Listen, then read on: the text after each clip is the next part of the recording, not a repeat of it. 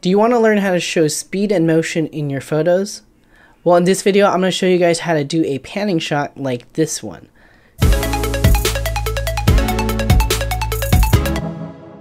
What's up guys, Reggie B Photo here and welcome back to the channel. For those of you who are new, my name is Reggie Ballesteros and I'm a wedding photographer based in the San Francisco Bay Area. So in most photography situations, our goal is to capture tack sharp images. And the typical way to do this is to use a high enough shutter speed to freeze everyone and everything in the scene. But this results in a frozen moment in time. Basically, anyone or anything that's moving will appear still and frozen. So in order to convey motion and speed, we actually have to do the opposite and intentionally capture motion blur. And one of the best ways to do this is to take a panning shot.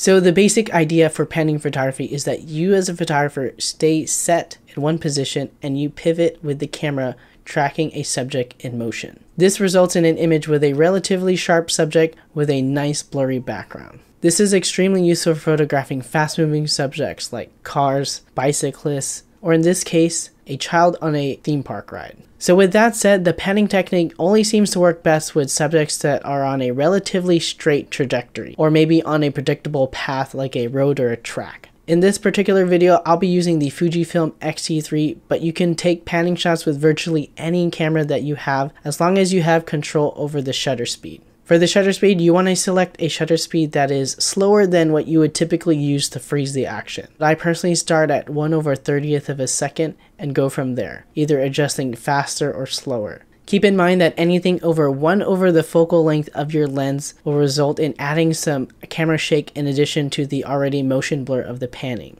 On the flip side, a shutter speed that's too fast will just basically freeze the image and show no blur, which will basically negate the speed effect.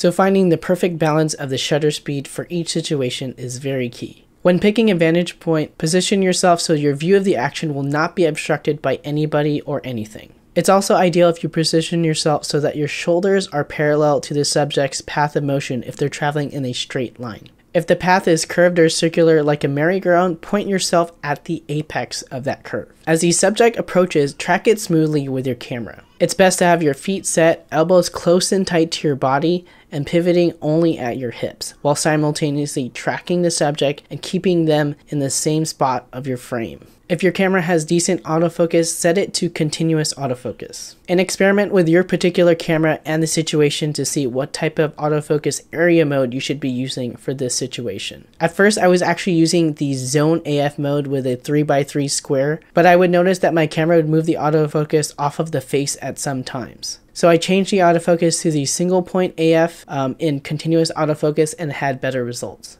For the X-T3, I also changed the custom autofocus settings to continuous set 2, which is basically to ignore any obstacles and continue to track the subject. If your camera doesn't have fast autofocus, don't worry because you've already positioned yourself correctly and the motion is predictable. All you have to do is pre-focus on the spot. You can use a test subject if you need to, take a few test shots, and even stop down the aperture a little bit to give you some wiggle room with that focus, and you're pretty much good to go from there. If you can, set your camera to a continuous drive mode, which basically shoots multiple shots. The key is to start tracking your subject early and engage autofocus and track your subject and shoot through the moment until it's already passed. If you let go of the shutter prematurely, you might miss that perfect shot.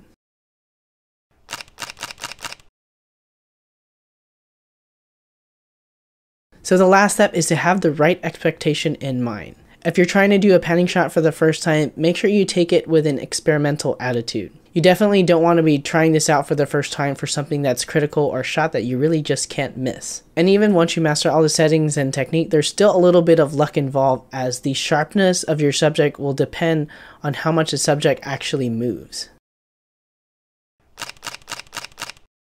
For example, in this photo, you can see that the horse is sharp, which verifies that my panning technique was actually pretty good, but my son's face is out of focus because he was laughing and moving his face a little bit. Because you're using a slower shutter speed, you have to have the right expectation in mind. So for a good shot, you can expect the subject to be relatively sharp, but you'll have a nice blurry motion blurred background. So beginner or veteran, I hope you learned something new in this video about panning photography. Remember, for this technique, practice makes perfect. It's good to prepare before you take the shot, but at the end of the day, there's a lot of luck involved. So keep at it and keep striving for that perfect panning shot. If you want to see more photography technique videos like this, hit that thumbs up button and let me know down in the comments below what you plan to take with this panning photography technique. Be sure to subscribe if you haven't already. I post a new Fujifilm or photography video just like these two every other week.